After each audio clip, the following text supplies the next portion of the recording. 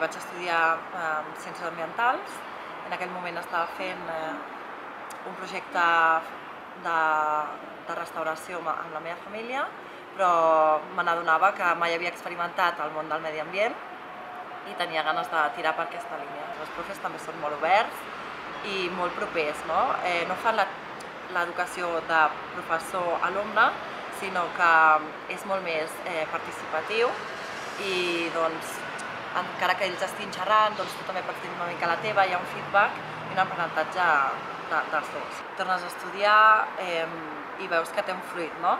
Les pràctiques també et posa en funcionament i veus una mica el món laboral cap on pots anar. Jo t'animaria que si vols un canvi, doncs mm, que no et faci por, saps? Perquè a vegades estem molt, molt tancats a nosaltres mateixos pensant que no som capaços de fer alguna diferent i, jolín, si, si tens ganes de fer alguna doncs fes-ho.